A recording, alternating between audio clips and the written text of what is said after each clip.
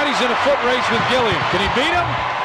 Tip dunk by Bill Wennington again. Born in Montreal, Quebec, Big Bill Wennington didn't touch a basketball until the age of 11, and that was only after he moved to Suffolk County, Long Island. But Bill picked up the game pretty quickly, and he led Long Island Lutheran to two state championships, which caught the eye of coach Lou Carnesecca. Bill scored over 1,000 career points and grabbed nearly 650 rebounds with St. John's and helped lead them to the Final Four as a senior back in 1985. In the NBA draft, Bill was selected 16th overall by the Mavericks. He got to the playoffs four times in five years with Dallas before trade sent them to Sacramento back in 1990. But as the season ended, Bill's NBA options were somehow limited.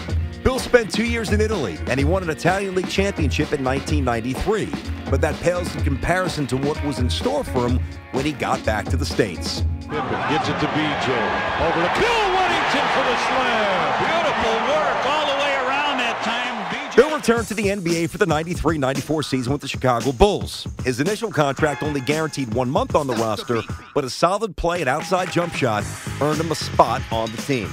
He set new career highs in points and rebounds and helped Scottie Pippen lead the team to 55 wins. Michael Jordan returned the following year, and a dynasty began brewing once again in Chicago. In the infamous double nickel game against the Knicks back in 95, Jordan set Big Bill up with a last second flush to win the game. Starks lost his footing here as Jordan, 95-96, Chicago won 72 games, breaking the record for most wins in a season. It was also year one of a Bulls three-peat as Chicago defeated the Supersonics for its first NBA championship since 1993.